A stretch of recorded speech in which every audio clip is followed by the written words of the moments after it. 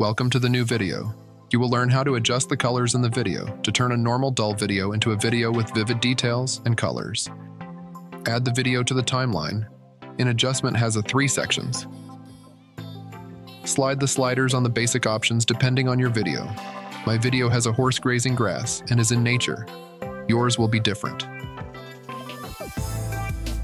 Increase the details in the video.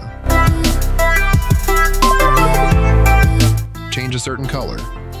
In this case, I slightly changed the color of the grass.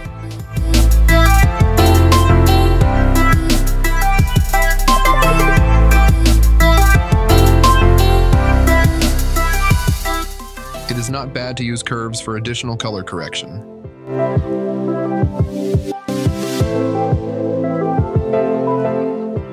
After you are done and you want to save the color editing, click Save a Preset. You will find it saved here. Thanks for watching, subscribe to my channel and like the video.